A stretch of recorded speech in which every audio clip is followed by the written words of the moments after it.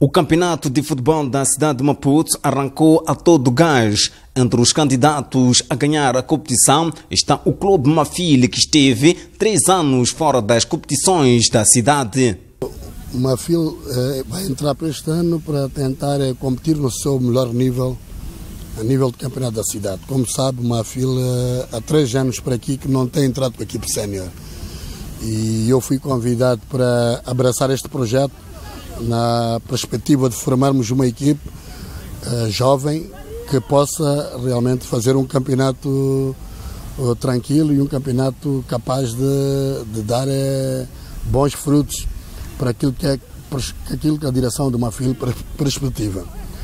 E, passando dois meses e meio praticamente, o trabalho de casa já foi feito e estou em crer que o Mafil conseguiu, nesse período de tempo, eh, construir uma equipa nova e com boas perspectivas. Durante o período da ausência, o foco esteve na reformulação da equipa. Osaras Momed é o rosto da confiança dos jogadores que querem chegar à segunda divisão de honra da Zona Sul.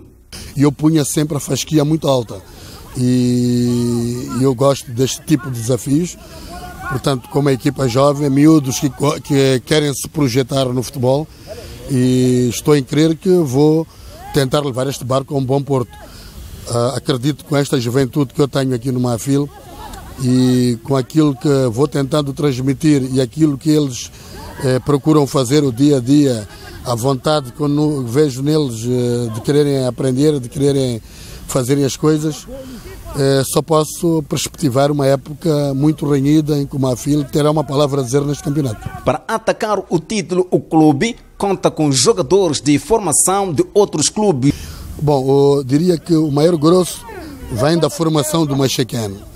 Nós temos uma parceria com o Machequen e o Machequen dispensou-nos seis jogadores. Esses é que são realmente o grosso da formação. Depois vem alguns jogadores da formação do clube e vêm outros jogadores que vêm das outras formações.